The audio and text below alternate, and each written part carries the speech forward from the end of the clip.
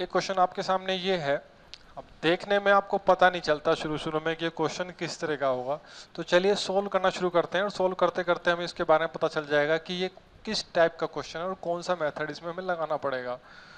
तो सबसे पहले तो देखिए, इसमें अगर आपको साइन कोर्स में बदल लिया करो, क्योंकि यूजुअली साइन कोर्स हमें बेटर चीज़ें समझ में आती हैं उनसे। तो उसी से करते हैं तो इसको आई मान लिया और आई को मैंने इसको पहले लिख दिया वन अपॉन कोस और वन अपॉन कोस ऐसे लिखा। और अपॉन में आपका ये वन प्लस वन अपॉन ये कोसेक लिखा हुआ है तो ये हो जाएगा साइन एक्स और ये डी एक्स अगर आप इसको थोड़ा सिंप्लीफाई करते हैं चीज़ों को तो ये आपका ऊपर तो आपका साइन एक्स ऊपर चला जाएगा।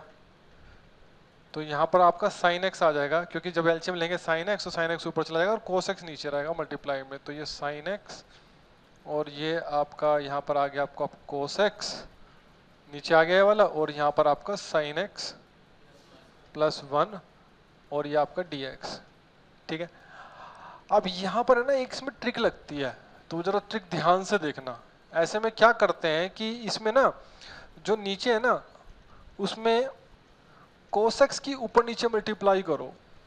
देखो, यहाँ कोसेक्स और यहाँ भी कोसेक्स ऊपर नीचे कोसेक्स की मल्टीप्लाई की। उससे क्या फ़ायदा होगा देखना आप। ये ट्रिक है, ये ट्रिक को ध्यान रखना भैया। इस क्वेश्चन को ऐसे ही किया जाता है। तो ये बन गया आपका साइन एक्स आपका कोसेक्स और ये जो नीचे है, ये आपका कोस स्क्वायर हो गया, ये आपका। कोस स्क्वायर हो गया, और ये आपका sine X plus one D X अब ये जो कोस स्क्वायर है ना इसको आप लिख दो, इसमें आइडेंटिटी लगा दो कोस स्क्वायर एक्स की one minus sine square X तो ये आपका बन जाता है, यहाँ पर आपका sine X into cos X और ये आपका one minus sine square X और sine X plus one D X तो ये अब आपको नज़र आ रहा होगा कि यहाँ तो सब्सटीट्यूशन मेथड आ ही रहा है। तो सब्सटीट्यूशन मेथड तो लगाना ही पड़ेगा। तो सबसे पहले सब्सटीट्यूशन मेथड शुरू कर देते हैं। तो लेट यहाँ पर किसको लेट करें? साइन को लेट करेंगे। Sine X equals to T मान लेते हैं। तो जो डिफ्रेंशिएट करते हैं तो cos X D X equals to D T तो यहाँ पर आप देख सकते हो, ये जो कोस एक्स डी एक्स है, ये आपका डी टी बन जाएगा। कोस एक्स डी एक्स तो और जहाँ जहाँ आपको ये साइन दिखाई दे रहा है, उसकी जगह टी लगाते जाओ। तो यहाँ टी स्क्वायर हो जाएगा, यहाँ टी आ जाएगा, यहाँ टी आ जाएगा, ठीक है? यहाँ ध्यान रखना। तो जो आपका इंटीग्रेशन है, वो क्या बन जाएगा आपका? यहाँ तो टी आ गया एक। ये डी टी बन चुका है। और वन माइनस टी का स्क्वायर और टी प्लस वन ये बन गया आपका। अच्छा अब ये, अभी भी आपको बहुत अच्छे से नज़र नहीं आ रहा होगा इसमें क्या होने वाला है। हाँ यहाँ पर आप आइडेंटिटी खोल दीजिए। जैसे आप आइडेंटिटी खोलेंगे तो एक तो बनेगा आपका वन माइनस टी और एक वन प्लस टी अब वन प्लस टी का मतलब आप इसको चाहो तो ऐसे भी लिख सकते हो टी प्लस वन का स्क्वायर हो जाएगा। तो अब आपको ये नज़र आ रही होगी, ये पार्शियल फ्रैक्शन की टाइप टू है। टाइप टू क्यों? क्योंकि यहाँ पर आपके दो रूट्स सेम आ गए हैं। रूट्स आर सेम तो इसमें टाइप टू हो गई। तो अब इसमें क्या करते हैं अब जो आपका इंटीग्रेंट है, ये आपका जो इंटीग्रेंट है टी वन माइनस टी और टी प्लस वन का स्क्वायर इसको लिखना शुरू करेंगे तो सबसे पहले ए के अपॉन में वन माइनस टी और प्लस बी के अपॉन में टी प्लस वन और सी के अपॉन में टी प्लस वन का स्क्वायर। ठीक है? तो अब क्या करना है? क्रॉस मल्टीप्लाई करेंगे। तो ये वाला जो पार्ट है, इसकी मल्टीप्लाई इधर कर दो बस खाली, पूरे में, और देखते हैं फिर क्या आएगा। तो यहाँ तो पहले रहेगा आपका टी ए के साथ जब मल्टीप्लाई करोगे तो देखो, वन माइनस टी तो कट जाएगा टी प्लस वन का स्क्वायर रहेगा। तो टी प्लस वन का स्क्वायर रह गया और प्लस बी बी के साथ टी प्लस वन कटेगा, एक कट जाएगा टी प्लस वन तो क्या बचेगा आपका? ये बचेगा।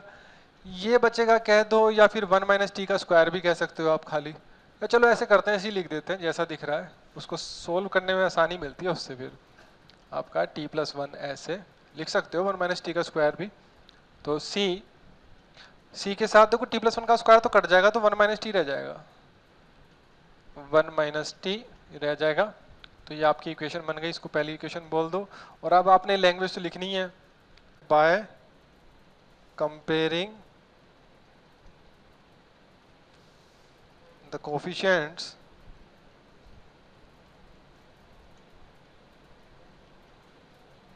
of T square T constant we get A की वैल्यू जो भी आएगी ट्रिक लगाने के बाद बी की वैल्यू और सी की वैल्यू तो यहाँ पर हम ट्रिक लगा लेते हैं इधर। ये रफ में दिखाना है जैसे पहले ही बता चुके हैं हम आपको। तो ये रफ पोर्शन है। तो देखिए सबसे पहले क्या करें? आ, अगर मान लीजिए आपको ए निकालना है तो वन रखो।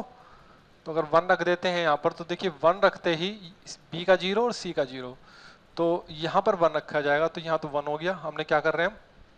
हम यहाँ पर t इक्वल्स टू वन रख रहे हैं पहले। और पुट इन वन। ये लिखना नहीं है बर एग्ज़ाम में आपको।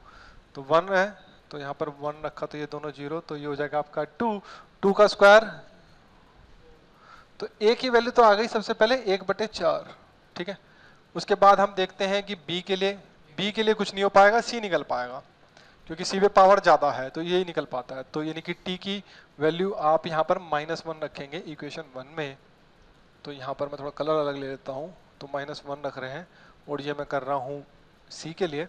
तो माइनस वन रखते ये गायब, ये माइनस वन रखते इसकी वजह से पूरा बी गायब। यहाँ माइनस वन रख रहे हैं तो ये आपका टू सी हो जाएगा। और यहाँ भी माइनस वन रख रहे हैं तो माइनस का वन हो जाएगा। तो इससे मेरे को टी की वैल्यू मिल जाएगी माइनस के वन बाई टू ठीक है? अब वन यूज़ कर लिया माइनस वन यूज़ कर लिया, अब ज़ीरो यूज़ कर लो। तो ज़ीरो यूज़ कर लो, साथ में ए और सी की वैल्यू रख देना इक्वेशन वन में। तो जब ज़ीरो यूज़ करेंगे तो यहाँ तो ज़ीरो। और ए की वैल्यू एक बटे चार। और जब ज़ीरो रखोगे तो कोई फ़र्क नहीं पड़ना वन का स्क्वायर वन ही होता है बी मेरे को निकालना है। तो पहले तो रख रहे हो आप ज़ीरो, फिर ज़ीरो तो ये वन इंटू वन वन ही रह जाएगा बी रह जाएगा खाली प्लस सी अब सी मेरा है माइनस का वन बाई टू और यहाँ ज़ीरो रखा कोई फ़र्क नहीं पड़ना तो वन ही रह जाएगा। तो ये माइनस का वन बाई टू और ये वन बाई फोर तो ये दोनों इधर भेज दो। तो ये तो वन बाई टू प्लस में आया माइनस का वन बाई फोर आया। और आप देख सकते हो यहाँ पर क्या होगा, दो की मल्टीप्लाई चाहिए तो एक बटा चार आ जाएगा। तो बी भी आ गया हमारा एक बटे चार। अब जो आपका आई है, वो क्या, इसमें काम करते हैं, पहले ए बी सी तो लिख लेते हैं। वन बाय फोर आपका वन बाय फोर और माइनस का one by two integration D T over आपका यहाँ देख सकते हो क्या था वन माइनस टी था। तो वन माइनस टी और plus integration D T over आपका ये है T plus one, T plus one और integration D T over T plus one का स्क्वायर। तो यहाँ पर, यहाँ थोड़ा ध्यान देना क्योंकि टी के साथ मल्टीप्लाई में माइनस वन है तो minus one upon minus one तो आएगा ही आएगा, इसलिए। तो यहाँ पर माइनस का एक बटे चार natural log one minus T और प्लस आपका one by four natural log T plus one और यहाँ पर आपको जैसे कि पहले ही फॉर्मूला बताया था वन अपॉन एक्स स्क्वायर का माइनस वन अपॉन एक्स होता है, उसके अकॉर्डिंगली यहाँ पर हो जाएगा माइनस का one upon T plus one तो माइनस पहले से ये तो प्लस हो जाएगा।